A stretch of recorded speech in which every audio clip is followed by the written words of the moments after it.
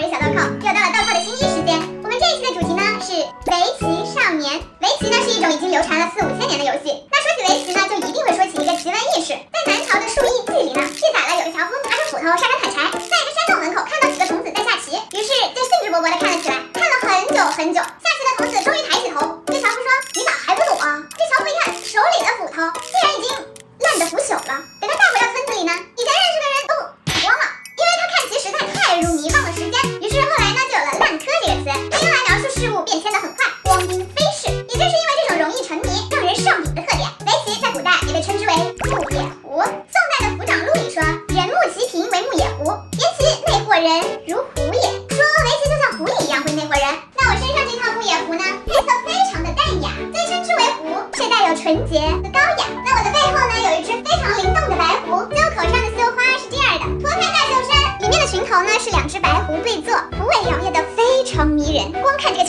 入迷的感觉。上襦呢是这种微透的白色，加上领口精致的绣花，再看到裙摆啊是缠绕的狐尾，那整体看起来呢可以想象一幅画面，少女狐仙在林中和自己的尾巴下棋，非常空灵的感觉。说完围棋呢，就该轮到少年了。在围棋界呢有一个著名的 CP，呃不是著名的好兄弟范希平和施蒂安。当时的人评价范希平的棋风就像神龙一样变幻莫测，而施蒂安呢像是老马驰骋战场，稳健精密。我不禁用现代场景代入了一下他俩下棋的样子，大概就是范希平喝着可乐随手就下，太极了。等对方落子的时候还要瞟两眼，正推着眼镜如泪如电筒般飞速运算，超级认真的施蒂安下得超快的范希平，嘴角还不时露出闲适的笑意。看这个画面，我可以很说为正经啊。他们两人啊，同在湖边下了十几局棋，把棋谱收录成了《当湖十局》。这本书大家就算没看过，也一定是听过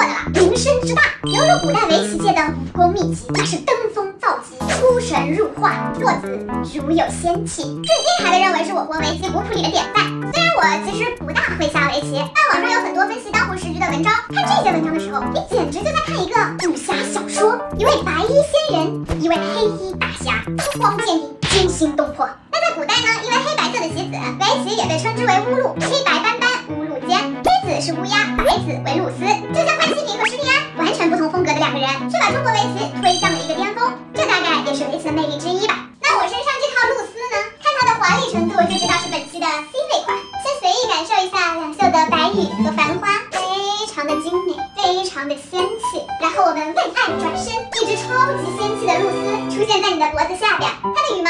延到你的衣袖上。穿这套衣服的时候呢，强烈建议大家把头发全部盘起来，这样才能完美的展现我们的颈下露丝。我们再看里面的上襦，是一个非常好看的豆沙粉，渐变的衣领，精美的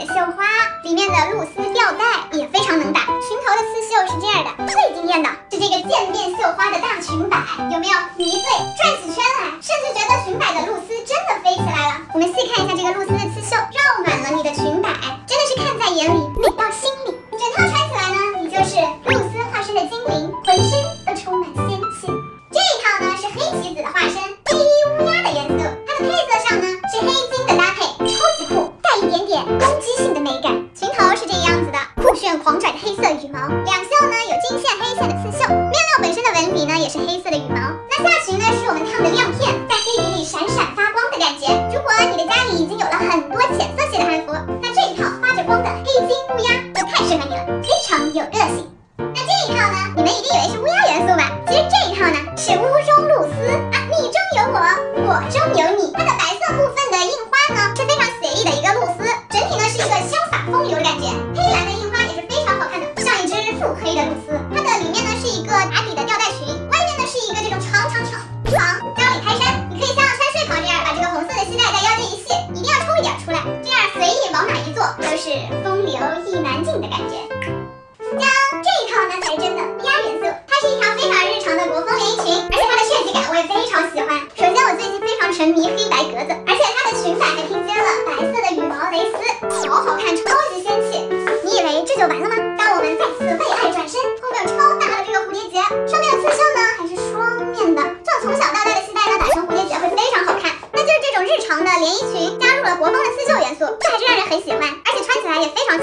和男朋友约会的时候，如果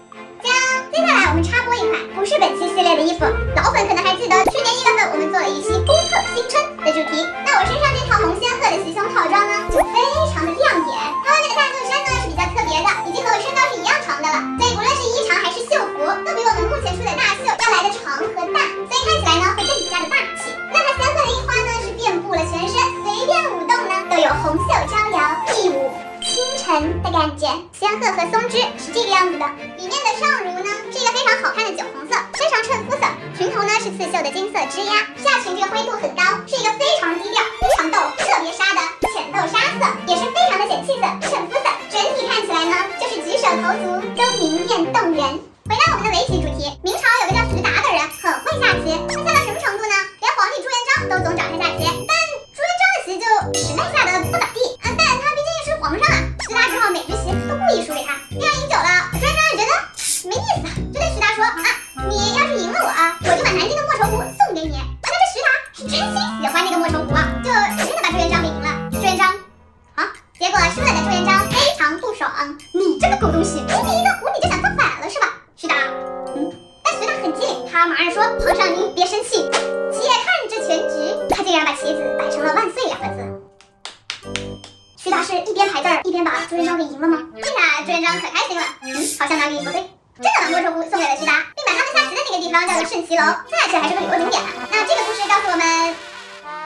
不大会下棋啊。哼，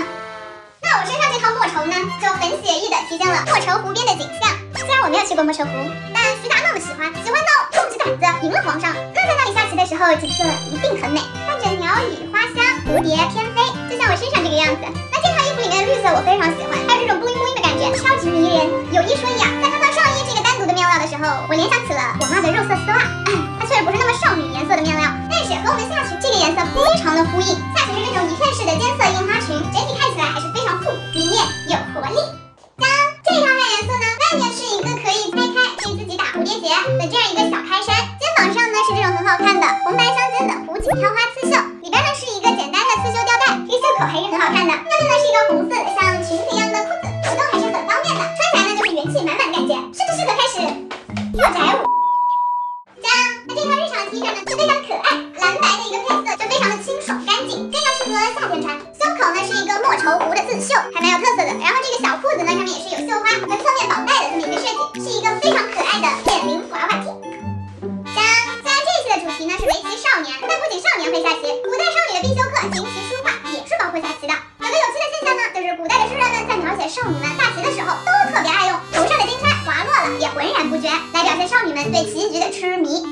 少年游》，串脱拆鞋魂不醒，或是这首《浣溪沙》，明晚纷纭微醉后，文秋斜倚几还天，都体现了少女沉迷下棋无法自拔的那种可爱。但我仔细一想，为什么下棋的少女发簪都会松呢？难道下棋会秃头？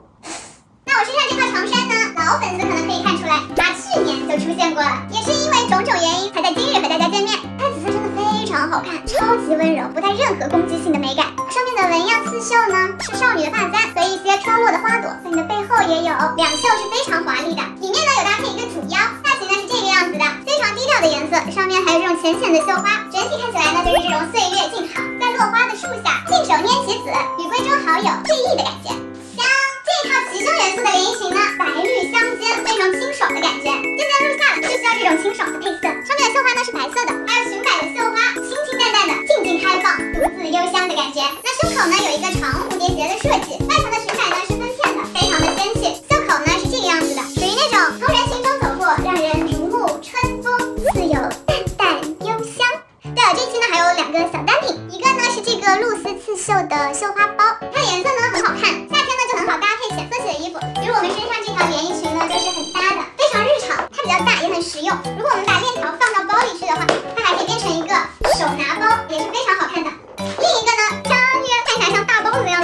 可以拿来当一个化妆包，它上面的刺绣呢是这种少女发簪，也是很仙气的，而且颜色也超级少女嘛。用这两条蓝色的调节它的袖口，可以这样打结固定。有两个粉色的小帕儿可以用来拎或者挂，这个不管是拿在手上，或是放在家里的梳妆台上呢，都是很甜美的感觉。而且背后呢有我们十三鱼的 logo，每次看到产品上有这个 logo，我都会有一种